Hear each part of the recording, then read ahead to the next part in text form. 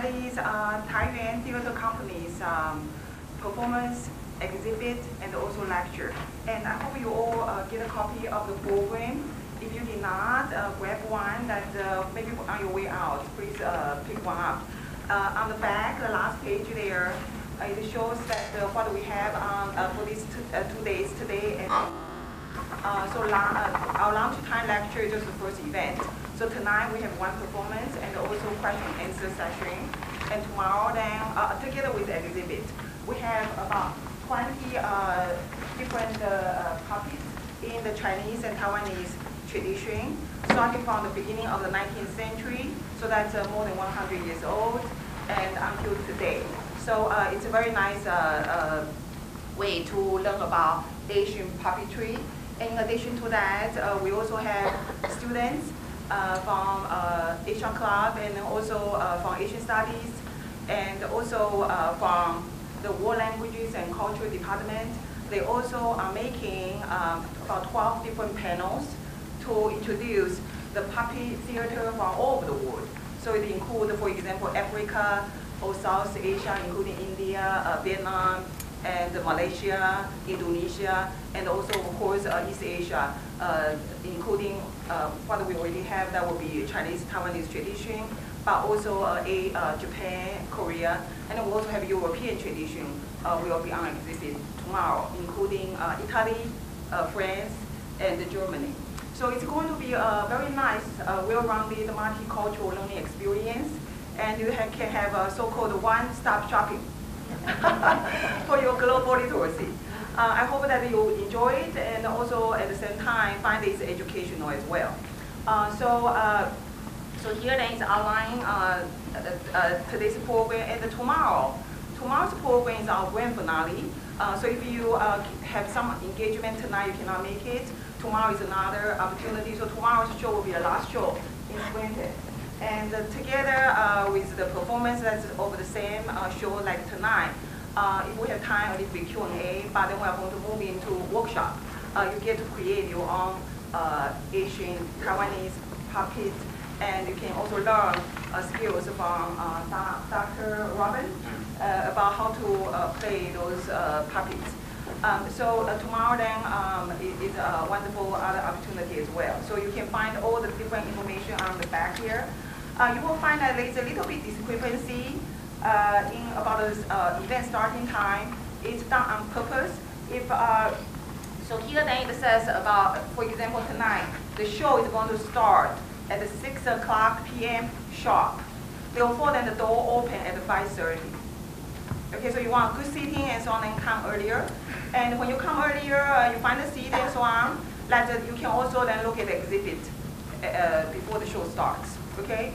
Uh, if you cannot make it that earlier, you come uh, at uh, six o'clock for the show. Then perhaps after the show, that you can look at the exhibit. So you can do either way. So Friday too, that is uh, 5:30 sharp. We start the show, the performance on time, but the door open at 5 o'clock. That's for tomorrow, okay? Um, all right, so uh, today we uh, have our uh, speaker, that is Dr. Robin. Okay, I'm going to try to pronounce his last name correctly in the Netherlands way. Uh, that is Ruhendale? Correct? Okay, so then now, now I'm re- resorting to the American pronunciation, uh, Rosendale. so uh, we will have uh, we have the honor to have uh, Dr. Robin here to uh, give us a lecture to talk about the war in the stage, and it's going to be puppets identity and politics in Taiwan. Okay, welcome. Thank you. Thank you. Oh, good morning, everybody. My name's uh, Robin Ruizendaal. I'm from the Netherlands, but I've been living in Taiwan for 20 years, and I'm director of the Puppet Theater Museum in Taipei and artistic director of the Puppet Theater Company. So today I'm going to uh, talk a little bit about puppets in Taiwan because puppets are very important in Taiwan. But I'll also give you some background, some historical background, and then we go to modernity. Now, in 2006, the Ministry of Information in Taiwan wanted to know what could be the best symbol to represent Taiwan. So there was a, a big public opinion poll. And number three uh, in the final selection was the 101 building in Taipei, which some years ago was the tallest building in the world. Uh, number two was Jade Mountain, which is the highest peak in Taiwan.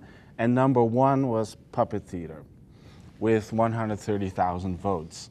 So puppet theater is very important, and I, I will tell you uh, why it's so important in Taiwan, its relation with politics and socio-economic developments. But first I'll tell you a little bit about puppets. So why is a 50-year-old man still playing with puppets? It's a little bit worrying. Uh, because in every culture, humans make puppets from Africa to Europe to Asia, and we make representations of people and of gods. So every form of puppet theater around the world, from Europe to Africa to Asia, started with religion. And it started with making effigies of gods that could move and that could talk. Because uh, we humans have a great need to have religion visualized. Uh, we started with making paintings, with making sculptures of gods, but you can pray to a god as much as you like. Sometimes your family members remain sick, they still die. You want to pass your exam, but you can't pass your exam. So the, we, we want the gods to be alive and to move and to talk to us. And that, that gives an enormous uh, psychological uh, comfort.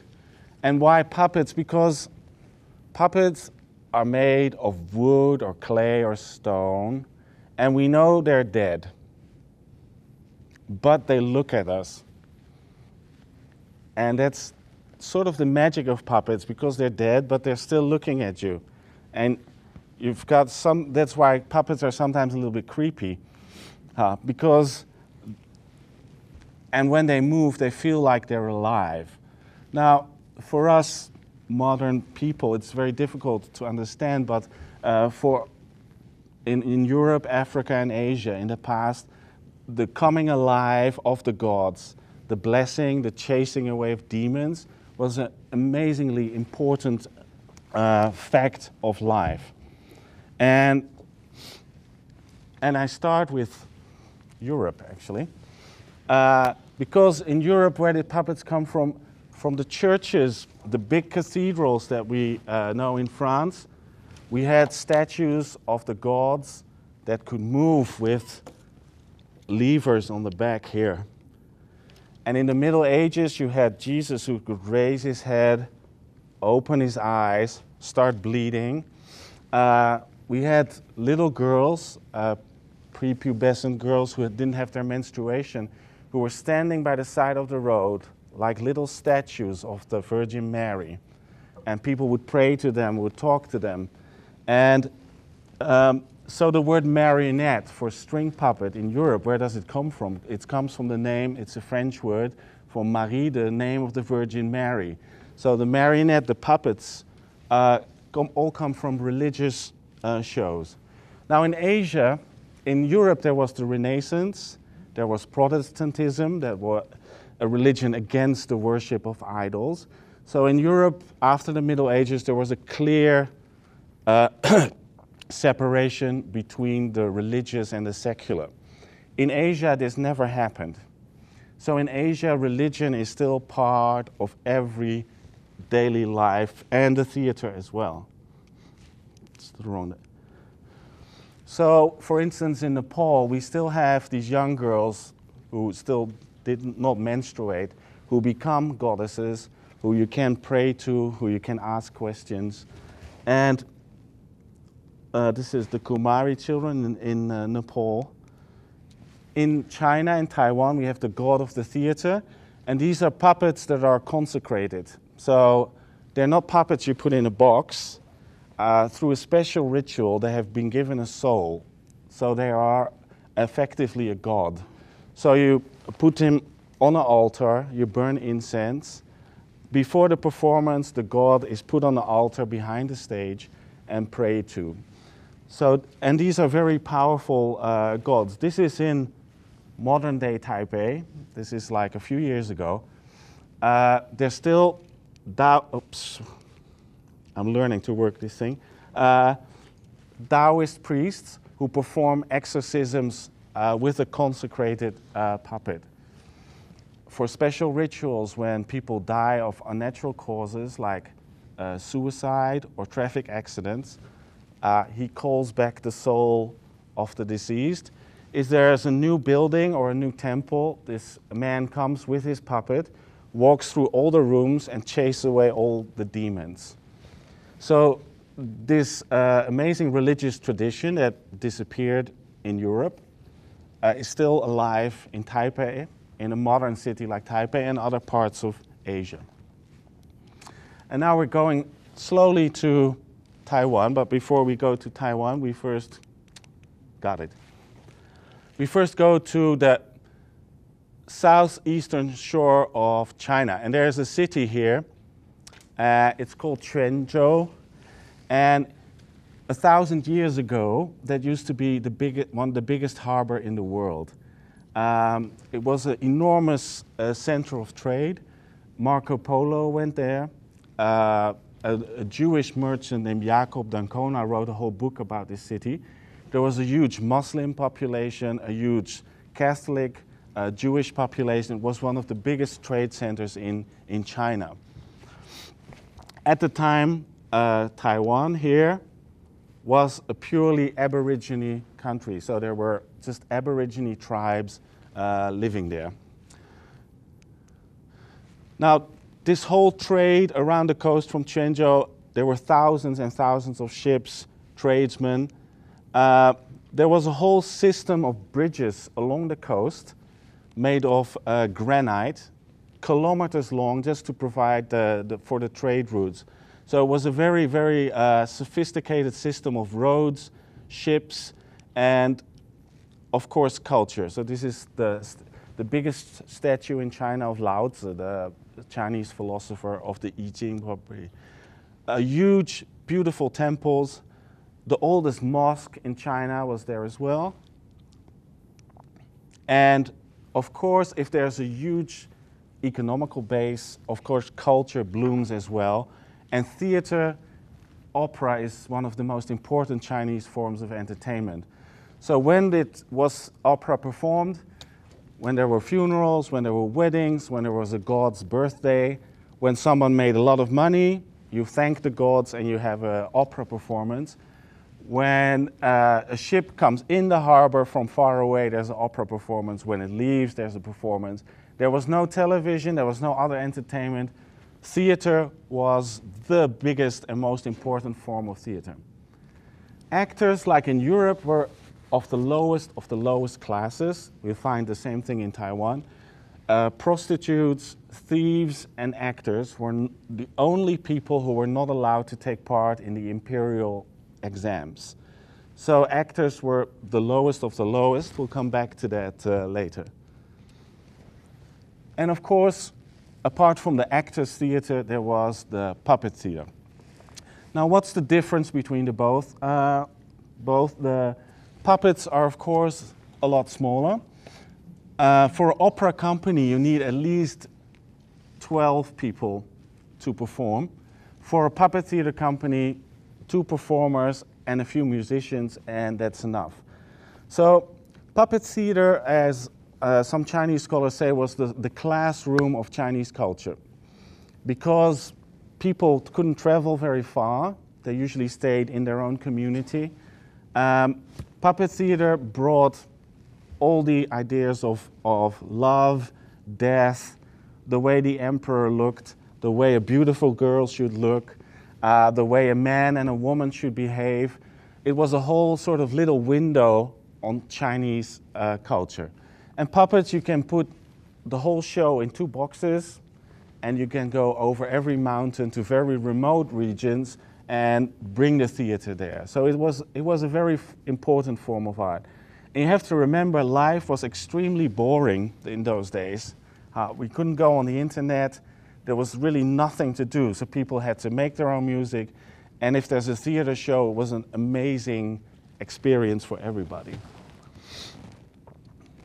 So this, this uh, culture in this town of Quanzhou uh, was developed into a very refined culture. Um, the puppets, I have here a, a 100 year old puppet. Uh, there were special carvers who just made the head. There are about 20 layers of paint on it, so it looks like it's made of porcelain, but it's actually made of, of wood, of camphor wood. There were special people who did the hair, because the hair is made of real human hair. Every lady has a, there are 50, 60 different hairstyles. Um, so the making of the hair, there were special people who did the hair. And then there's the costume, which were made of silk. Um, there were special costume makers who made costumes for opera actors, so big costumes. But of course, if you make a big costume, there's lots of cloth left. And they were perfect to make these small uh, puppet costumes. So it's, it's a very, very uh, refined tradition. It was performed on these beautiful stages. So they were completely carved of wood. Uh, two performers were standing behind it. And if you go and see the show uh, today or tomorrow, you will see a stage like this. And the performers were looking through these wooden boards to see the puppets. So they could, performers can look outside, but you don't see them. And I will will show you now a little uh, clip of a performance.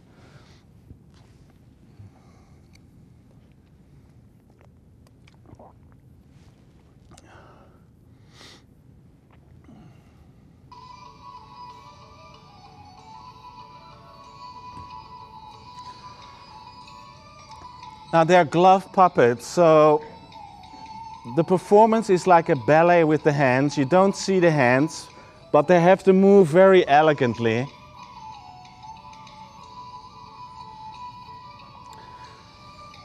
Now this is a young student.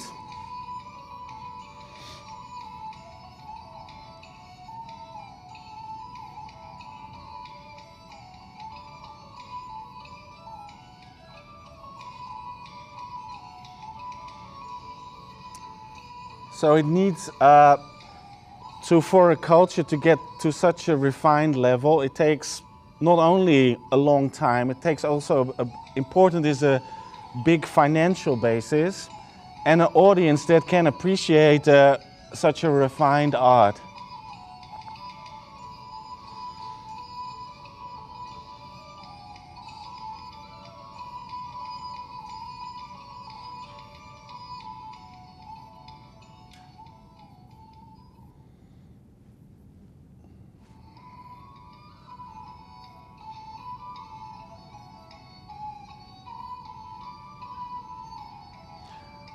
An old man smoking a, a pipe.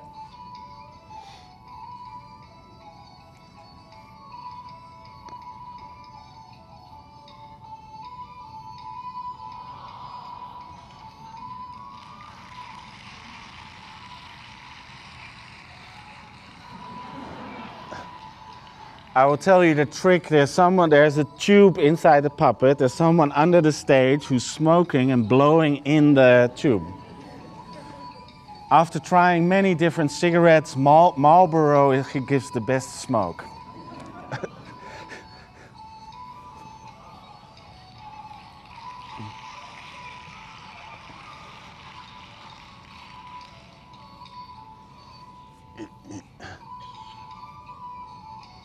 He's slightly dizzy now.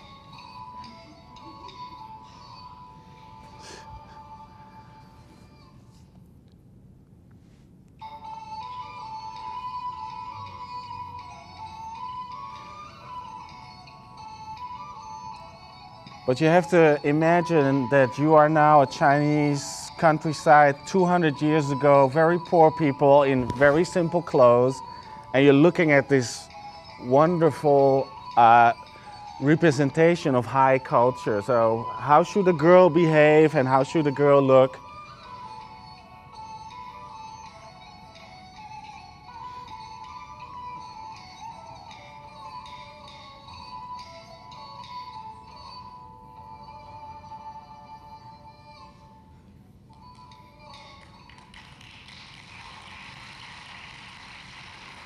And this type of performance is now only preserved in Taiwan. I'll explain later why that is.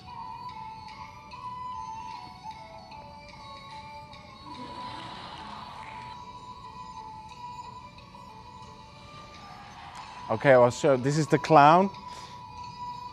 So every aspect of culture, of course, the laughs, the fighting, the romance, it's all in the theater. 好，谢谢，我们换到那个，谢谢。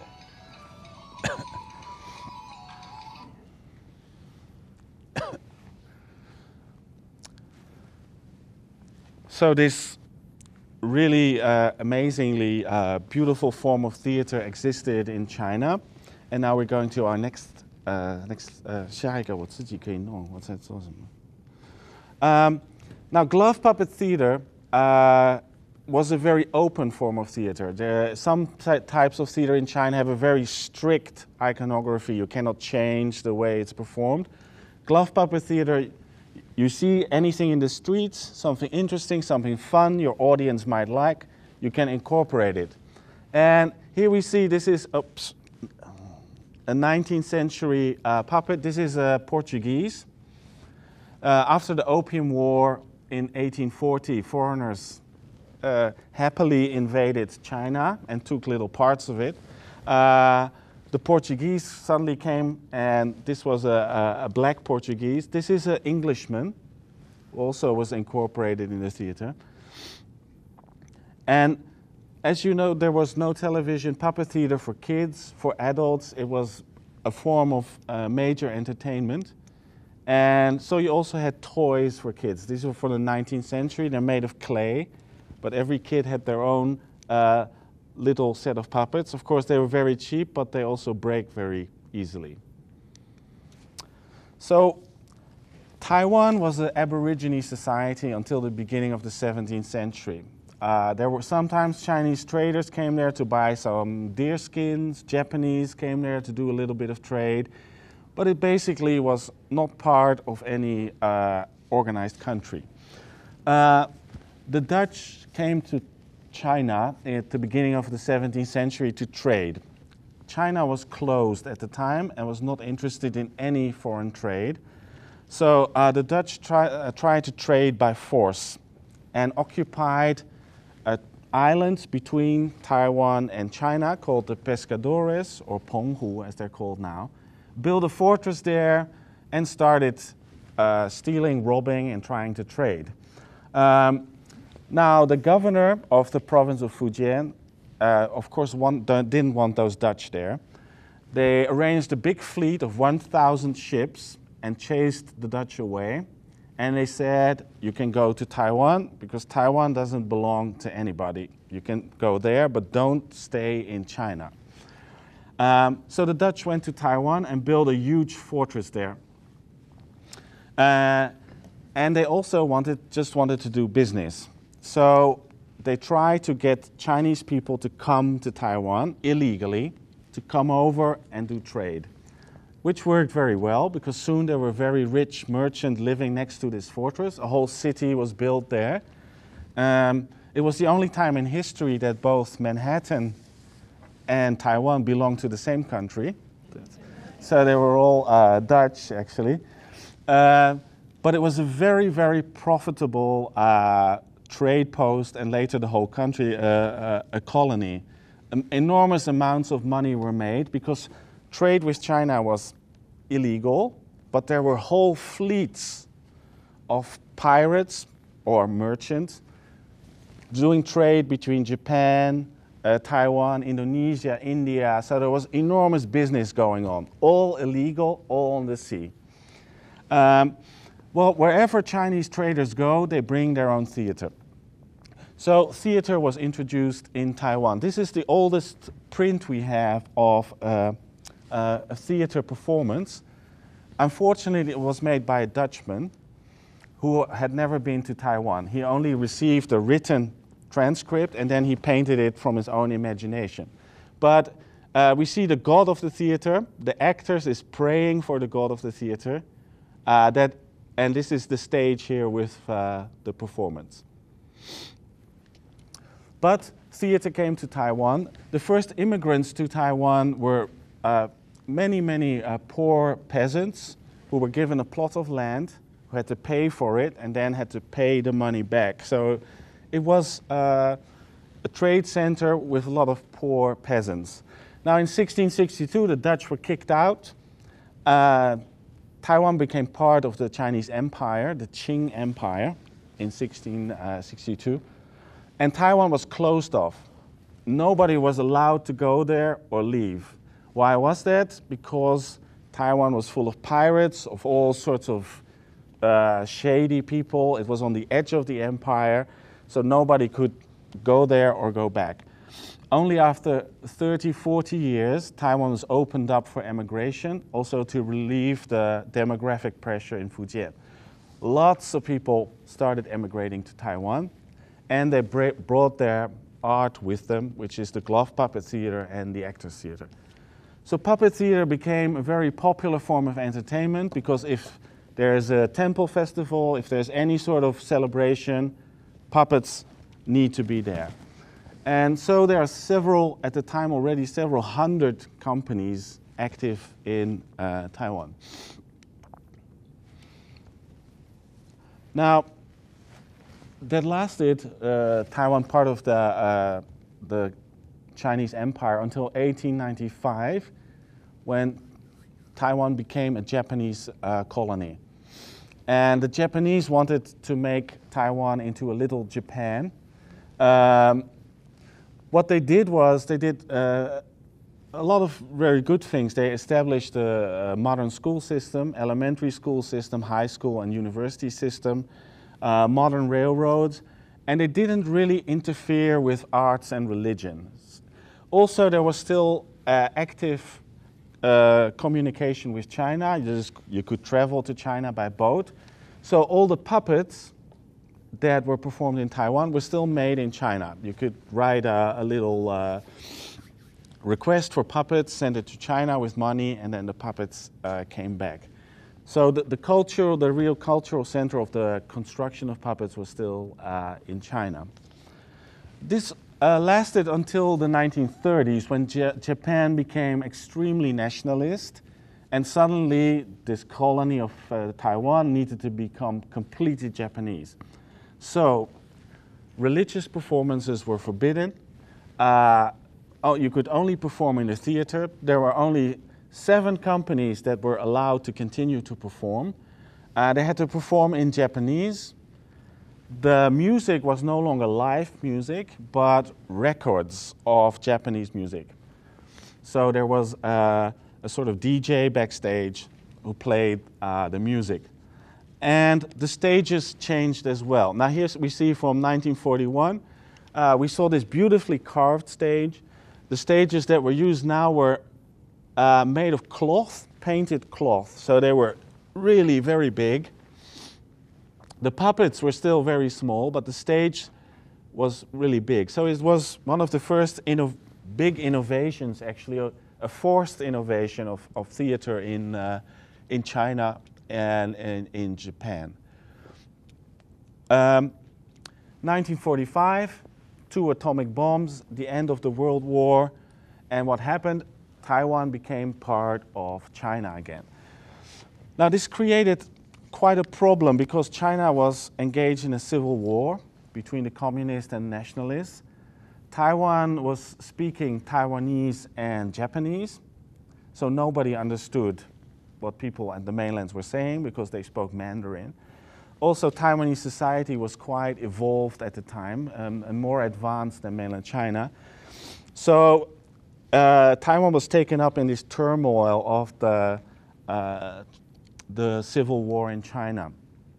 So the nationalist government came to Taiwan, and of course the Taiwanese were first quite happy to be back in part of China, but soon uh, there were en enormous frictions between the different uh, uh, groups of the nationalist government and the local Taiwanese because the nationalist government took over everything of the Japanese. Thank you very much. All the companies, all the land, all the buildings, and also all the posts in the government. Um, so this, these frictions led to, in 1947, the famous uh, February 28 incident where uh, the nationalist government was a friction with local Taiwanese and suppressed this uh, friction with enormous violence. So several thousand people were killed. Uh, martial law was installed.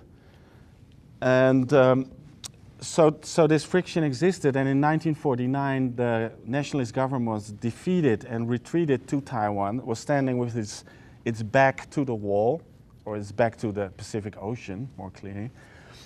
And they created a very, very, uh, uh, quite a brutal regime. Uh, not as brutal as in the People's Republic of China, of course, but still uh, quite repressive. So uh, there were no longer performances in temples were allowed. Uh, there was a, a, great fear that communist spies would be everywhere, so the regime was slightly paranoid, which is understandable. Uh, so there was a, a huge suppression of uh, theater. Only after a few years, in the early 50s, people were allowed to perform again. But uh, performances needed to be registered. The censor needed to read what you were performing and why you were performing it you definitely could not make any uh, political mistakes. Of course, it was a repression, but it was a mild repression. In the People's Republic of China, all religious activities were stopped immediately uh, after 1949. All the theater companies were disbanded and not allowed to perform anymore and had to all be put together in a uh, national uh, companies that were controlled by the Communist Party. So in, uh, in China, there's this um, destruction of the basic core of Chinese society was very, very intense. In Taiwan, there was some repression, but not as, as bad as in uh, China.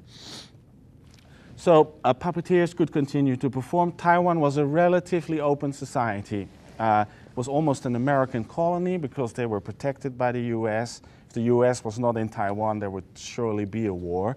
So US culture, Japanese culture, all came to Taiwan. Comic strips, movies, and the theater, as I said before, the puppet theater uses everything that is fun or interesting and the audience might like. So the first thing was the stages became very uh, kitschy, you could say. The colors, they were very, uh, very bright. And as we saw in the Japanese period, you had these painted cloth stages. And it's interesting that this innovation was continued. So in Taiwan now, there are still 300 companies, and they all perform with, on stages like this. These cloth stages, they're not so expensive as the carved ones. now the puppets changed as well. So if you have uh, a hundred-year-old puppet. This character is a clown character. He's sort of a playboy type of, uh, always chasing women and being a little bit naughty. So this is a 100-year-old puppet. Here is in, in Taiwan in the, in the 50s. He's already, you see his clothes has changed, so a bit more colorful. Here in the 60s, he's getting a new hairstyle, so a little bit more uh, fashionable. And in the 70s, he's completely like a pig. You see, with a pig nose, pig's ears. So uh, in Taiwan, is uh, it's called 一头猪哈，这是比较呃 It's a sort of playboy type. So the puppets changed and they became bigger and bigger. Now, why was that? Because uh, Puppet Theater is a, they're a company. You're competing with many, many other companies. The bigger your puppets, the more people can see them. The bigger your stage, the more noise you make, the more uh, business you have. So uh, companies were evolving all the time. And of course, at the time when there was no television, every kid wanted to have uh, a set of puppets to play with and fight over it, as you can see here. So in the south, there were all these all these companies that were performing with these big puppets. Really, uh, we can i will show you a, sh a, short clip of one of these shows. Uh, The smoke cannons are used, lasers, explosions, anything can be used. Uh, this is backstage.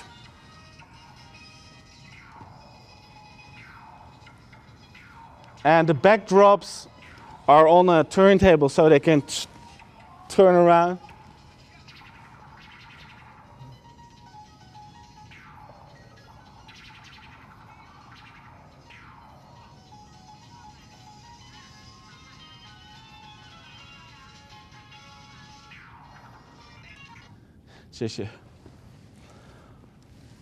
So this development is, is uniquely Taiwanese. It can't be found anywhere in China. It's, uh, but the authorities really didn't like this type of theater. So the theater that was promoted was this as the original Chinese culture, traditional culture. And also in children's books, here we see a traditional performance uh, which very much promotes this type of theater. And there's even a foreigner here who's studying it. So it's to express its uh, importance. And this is the theater in the south. And here you see all the people are complaining. Uh, there's a lot of noise. Explosions here are made. And no longer live music. Uh, in the 50s already the music was made by DJ. So there's one person sitting behind the stage, about 100 records, two turntables, and they're changing the, the music all the time, and any music can be used. So the most popular one is still the theme of Hawaii 5-0. I don't know if you know the series, but it's definitely still the most popular. Uh, from Dolly Parton to Cyndi Lauper to Japanese popular music, anything can be used. If the DJ thinks, oh, there's a girl coming out, hey, I'll put on some Dolly Parton or something. Nobody understands what they're singing anyway, but it sound, if it sounds right, it's, it's okay. So it's a, a very postmodern way of uh, doing uh, the performance. Now, something very important happened with the introduction of television. Um, because uh, television in Taiwan, because we're still on martial law, we're in the early, late 60s, early 70s, where people were not allowed to have a broadcast in Taiwanese. Now, Taiwanese is the language that 80% of the population speaks. All, all broadcasts were in Mandarin, Chinese. Now, every day there was one half hour that was allowed for Taiwanese. Uh, now, in that half hour, there was a man named uh, Huang Junxiong who uh, did a puppet show. And this puppet show became amazingly popular. How popular did it become that when this show was on, the whole of the Taiwanese economy came to a standstill. People, kids did not go to school. Everybody watched this show. So it's like really amazing uh, success. That was also why the show was forbidden to be performed on television.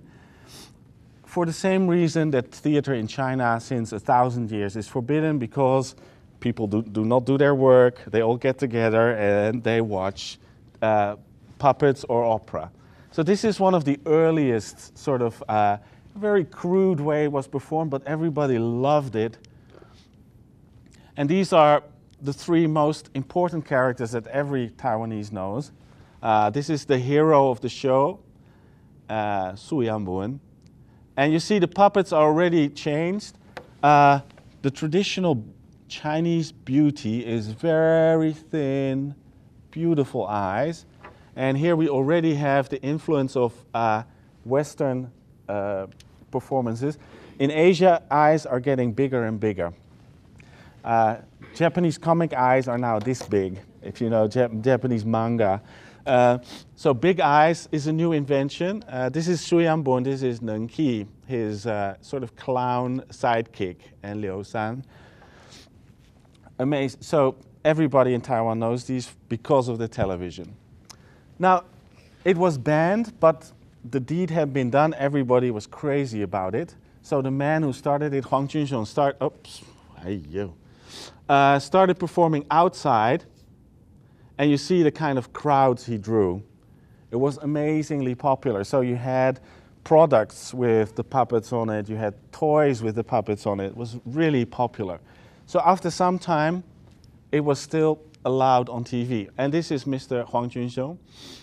It's the only puppeteer in the world who drives a Ferrari um, because they make an am amazing amount of money. So they're very rich and very successful.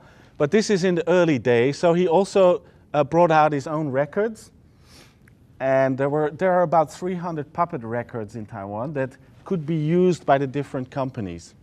So if you're a poor company in the countryside, you could use his record, which sounded really good, and have a, uh, the same style. Now, everything was used in puppet theater, as I said. So, also in Taiwan, you have striptease puppets. This is very unique. Already in the 70s, they existed. So, sometimes uh, in, with, uh, in the countryside, you have a puppet striptease and people, uh, person striptease at the same time. So, a, the, the taste of the gods changes with the taste of the people. So, it's a very lively art.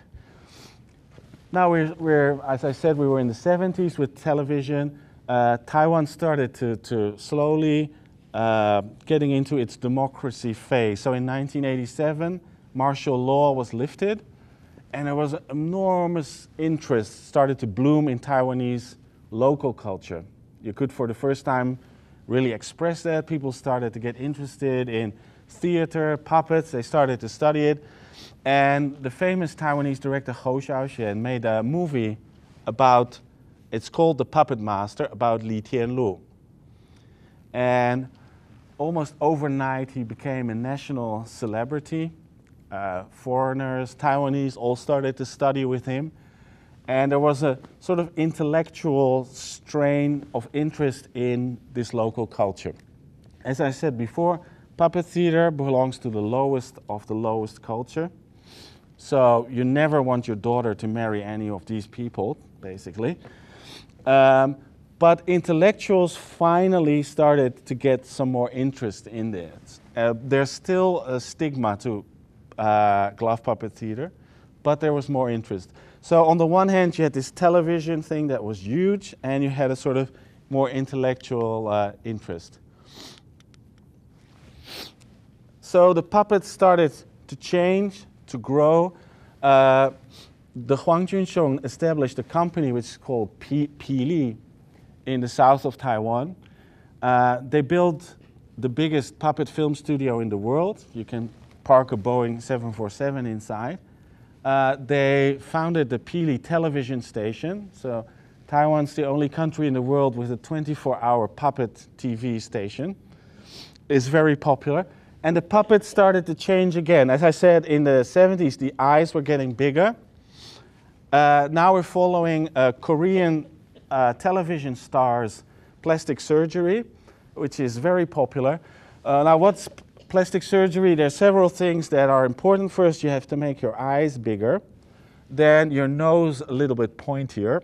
Not in my case, but for the and the shaving of the chin is uh, so you get a, a, girl like this and you go into a nice pointed chin a little bigger nose now the puppets as you see are getting bigger but their noses are getting uh, pointier their chins are getting pointier so they follow uh, fashion and changes in uh, in culture now these puppet characters are amazingly popular so students do cosplay, costume play, it's a Japanese word.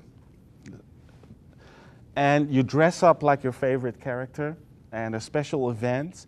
They're professional cosplay people who go to events because they're permanently the puppet character.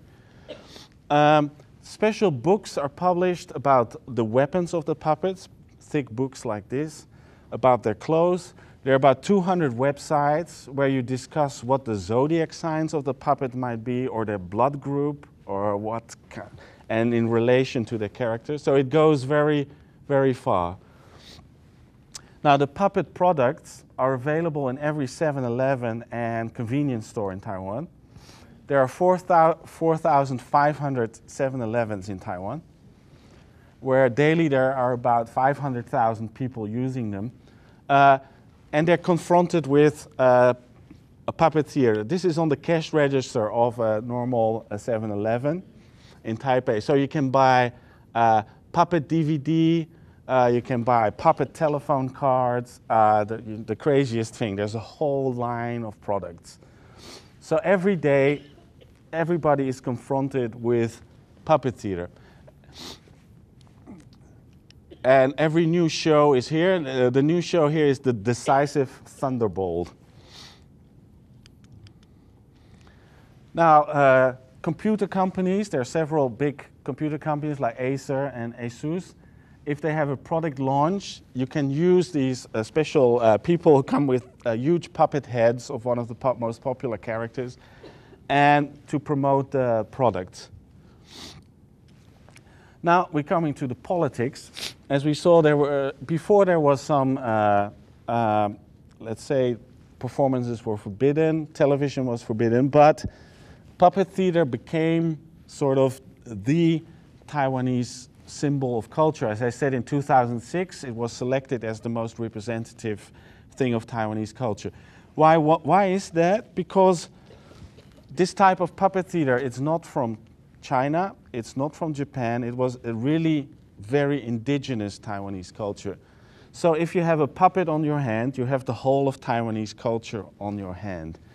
And so for politicians, it's very important to uh, show yourself with a puppet. So every politician, uh, this is our President Ma with a puppet of himself here. And especially during campaigns, you go to all the puppet theater companies and you make sure that there is a new segment where you, where you hold a puppet. Uh, it's also important for, uh, because in Taiwan there's still the, the, let's say the difference between the people who came from mainland China and the people who were born in Taiwan. And basically they're sort of between party lines, the Nationalist Party and the DPP. And especially people who were from outside of Taiwan or born outside Taiwan need especially need to identify themselves with the puppets, like President Ma, but he does a great job here. And this is the Huang Junxiong, the old master. But every politician has to do it. So we also have here uh, Xie Changting of the DPP, and he's actually the only puppet uh, politician who can actually perform and performs very well. He came to our museum. And this is another DPP presidential candidate. Also, she was born in Taiwan, but very, not very familiar with Taiwanese culture at all because most of the time she spends in, spent in the US. Uh, so she also has to uh, be shown with uh, puppet theater. And puppet theater also appears in cartoons. This is former President Lee Teng-hui. Uh, and this is, this is uh, the Lee Teng-hui uh, Puppet Theater Company. And he's thinking, which candidate shall I support, the DPP candidate or the Kuomintang, the nationalist candidate? And it goes further that in the National Assembly in Taiwan, there are also puppet shows performed, uh, sometimes to make a point. So the National Assembly in Taiwan is a very lively place. Uh, so uh, here is uh, a criticism of the vice president in the form of a puppet of a puppet show. Now I said uh, the relationship with China has completely normalized. So in before 1949, all these puppets would come from China to Taiwan. And now it's exactly the same. So Taiwanese businessmen go to China, establish a factory there to make puppets, and they're sold again in uh, Taiwan. So there's a very open uh, climate. Some of the modern puppets, I brought some here, are Chairman Mao and Chiang Kai-shek. So these were, these were made in China uh, for the market in Taiwan. Uh, of course, Mao Zedong is not allowed to be sold in China. That would be sacrilege. Uh, but they're made in China, and uh, we have them in seven colors. it's also uh, uh, so.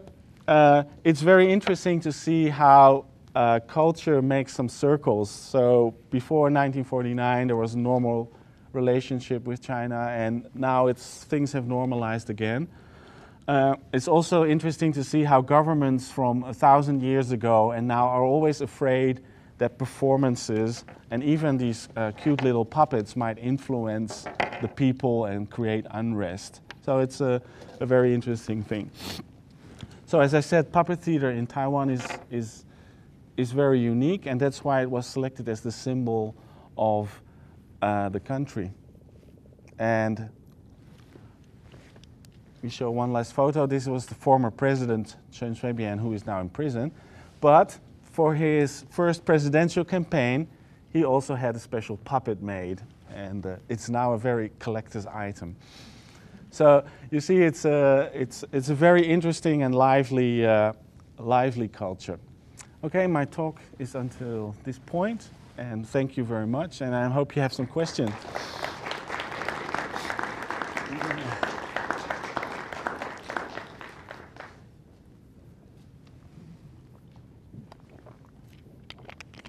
I can hardly see you because of the lights. So. Oh, that, ah, there you are.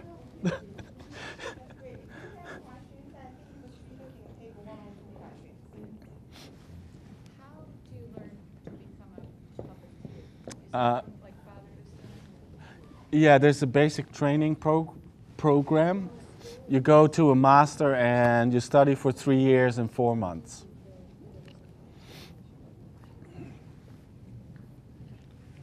So in the early days when puppeteers were sort of in the lower class, what would make people want to go into puppeteering? Uh, you were usually the people were living a sort of environment of traditional musicians, Taoist priests, puppeteers, actors, and if you came from such a background, you could uh, go into puppet theater. Um, was it like economically good for them, or was it just like? Well, it's, it was, you had very little choices. So, you, you, you know, you, it was, many people were living on the edge of uh, survival. So, you know, getting, learning a trade. And for, for theater companies in China, the chi children were just bought and sold. So you bought 10 children and you trained them to become performers. So it was a, with puppet theater, you had more of a, let's say, a, a, a training, apprenticeship. So it, was, it wasn't too bad. You were still lower class, but at least you had a, you learned a trade. Western puppeteering, a lot of times, they have the, um, the puppeteer up here, and then they have the string and then the puppet. Yeah. Yeah, they have it all over China and in Taiwan, but uh, because pu- glove puppets are the, the major, so I didn't go into the string puppets. Uh, absolutely, I wrote my PhD on it, so I've seen them. What brought you to Taiwan? Well, I, I lived in China before, so I did my uh, four years in China. I did my field work in the countryside in China. And I came to Taiwan and I really liked it. So, yeah, I would never be able to do this kind of work in China. It would be impossible. Well, I had to study Chinese society, so I had to, you know, what makes Chinese people tick or what is Chinese culture. So I wanted to choose a window on society that, and this includes uh, religion, music, literature, and it's theater for the people. So everybody, people watch it. So it means it's a theater is very democratic. If nobody watches, it's gone. So it means it's very much alive, and it's a beautiful, uh, beautiful art. So that was the main reason I. Okay, um, all right, well, thank you so much for being here, and I hope to see you tonight at the performance or tomorrow night. Yeah, well, sorry. Welcome to the performance because it's uh, it's a really nice performance and it's got very nice live music as well. So if you don't like puppets, you can close your eyes and just listen. and if you like both, it's even more it's even better. That's right, that's right. So we have uh, three musicians uh, play live, and then we have three puppeteers play behind the stage and so on. So it's going to be very democratic, interactive, and. Uh, Well, it's a very fun show. It's very fun. It's It's a fun show. it's a show without words, so everybody will understand the action. So it's with humor, sex, and violence. So it's wonderful. Okay, thank you so much.